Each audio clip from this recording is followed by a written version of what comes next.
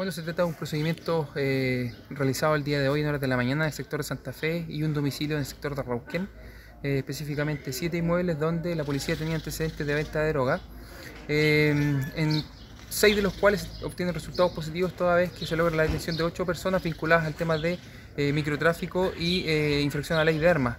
tenemos cannabis dosificada y a granel incautada, además de más, de más de 100 gramos de cloruro de cocaína, y 39 comprimidos de éxtasis. Eh, también hay dinero en efectivo incautado, un arma de fuego y munición eh, utilizada para eh, esta arma y otras que posiblemente hubiesen tenido estos sujetos. ¿Drogas sintéticas también se incautaron? Sí, como le indicaba, son 39 comprimidos de éxtasis incautados en esta oportunidad. Como bien lo indicó el fiscal hace algunos momentos, el, blanco o el foco de investigación estaba enfocado a otros tipos de drogas,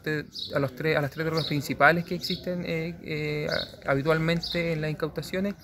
Eh, pero eh, nos encontramos con la existencia de estas eh, pastillas de éxtasis que son comúnmente ofrecidas al público en lo que son las fiestas electrónicas y en fiestas masivas. También incautaron fuegos artificiales dentro de las cosas que hay aquí en la mesa. Sí, dentro de lo, de lo incautado en, los domicilios tenemos más de 100 unidades de fuegos artificiales, lo que hay en la mesa es solo una muestra de lo que se encontró y viene a,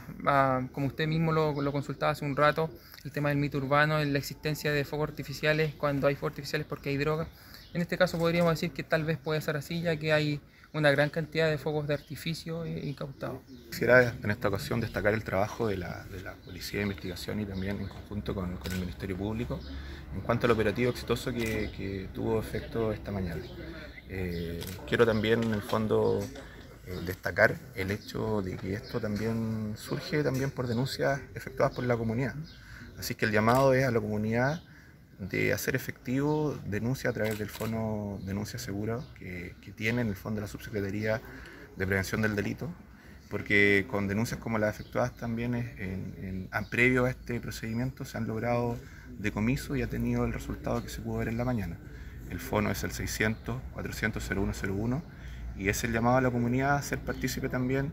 de interactuar en conjunto con las policías para efectuar la denuncia, hacer una denuncia segura y poder en el fondo concluir con, procedimientos como el que tuvimos esta mañana, con resultados exitosos después del trabajo efectuado por la Policía de Investigación.